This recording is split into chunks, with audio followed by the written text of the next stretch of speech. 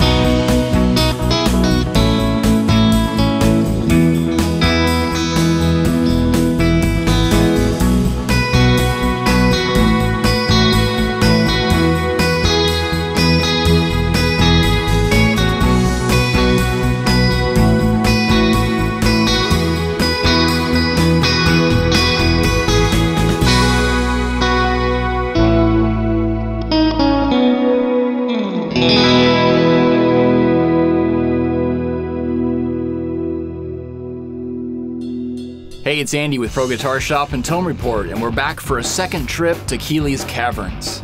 The Caverns version 2 is a fully equipped time and space travel device that gives you two full-featured pedals in one box with no stone left unturned. The right side of the Caverns V2 is the Keeley Mag Echo, an expertly voiced tape delay emulation that serves up 650 milliseconds of warm vintage-soaked tones. The toggle switch on the delay side splits the modulation up into three modes, from a pristine fresh off the line unit all the way through a worn down studio doorstop. The reverb side of the Caverns V2 gives a fresh control set, featuring a warmth knob that darkens up any digital brightness generated by the reverb algorithms. The center mode is a warm, dripping spring reverb based around a classic 60s blackface amplifier, complete with an adjustable tremolo in the trails. A modulated reverb mode gives you some subtle sway in the background to complement your tone by way of a chorus in the wet signal, while the shimmer mode smashes the reverb sound into particles, which are shifted up an octave for an ethereal tone that will liven up any riff. Plus, an internal switch gives you the option of letting the foot switch choke off the trails or keep it going after the unit is switched off for more gradual transitions. And just like all Keeley pedals, the Caverns version 2 is hand forged by folks right here in the USA. Since the delay side is based on a tape echo, let's get a classic slapback echo and pair it up with a spring reverb.